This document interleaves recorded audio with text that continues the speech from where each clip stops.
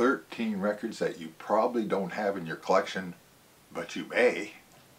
Instead of 10, 12, 20, 25, this is 13. Lucky 13.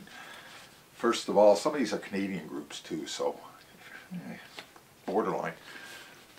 The Paupers, Magic People. What a great album this guy right here, that turtleneck, I wanted one of those when this record came out. And uh, I finally did get one, but I never got into a rock and roll band. Damn.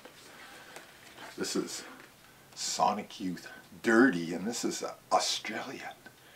Australian produced, came from, well, not produced, but came, the record is manufactured in Australia.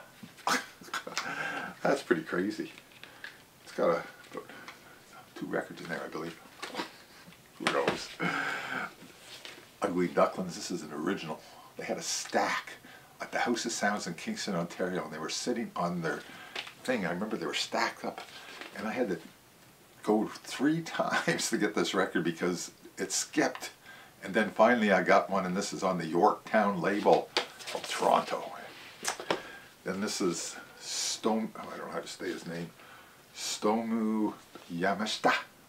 And this is with, uh, it's got Stevie Winwood on it and Michael Shrieve from the early Santana band. And uh, I guess it's kind of progressive kind of stuff. String driven thing. Love this album, The Machine That Cried. This is a Scottish group. And uh, I never see this album around, but I love this album. And I got it ordered on CD finally. And here's their first album by The String Driven Thing. What a weird cover, eh? Circus, what a great song. And I don't even know why I have this one. It's got a little peek hole through it.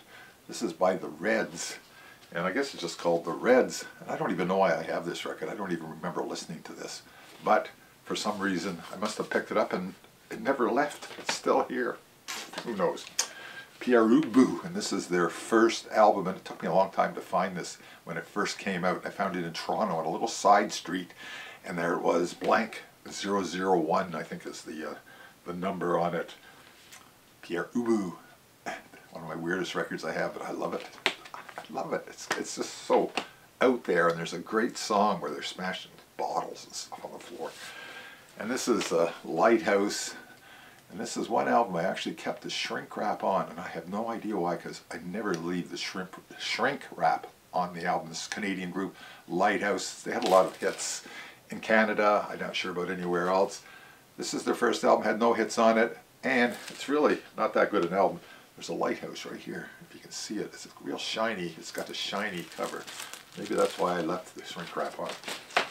Then this is the Kinks' first album, and this is on the Pye label in Canada, manufactured in Canada. The Kinks' first album got this when it came out because You Really Got Me is on it. There's some odd stuff on this, but it's it's quirky and fun.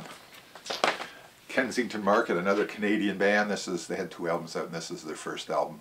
And uh, good. There's a really good single on this, and I haven't got my glasses on. I would be the I want to. I would be the one. That's it. I would be the one. Great song. And everybody's favorite, the Fugs. And this is album is just right out there. I put this on a party sometime because it's gross. It's a gross out album, really.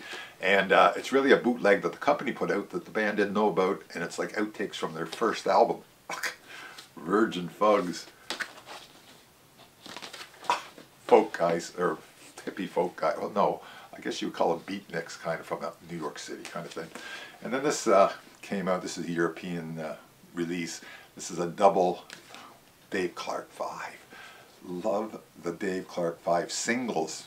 Beyond the singles, not much there, but this is a double double album from the Dave Clark 5, which I had to have.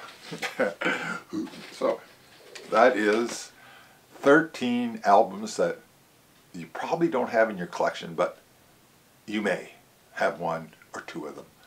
Or you may have all of. I doubt it.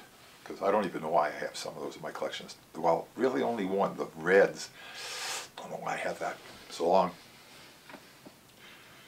Two thumbs up.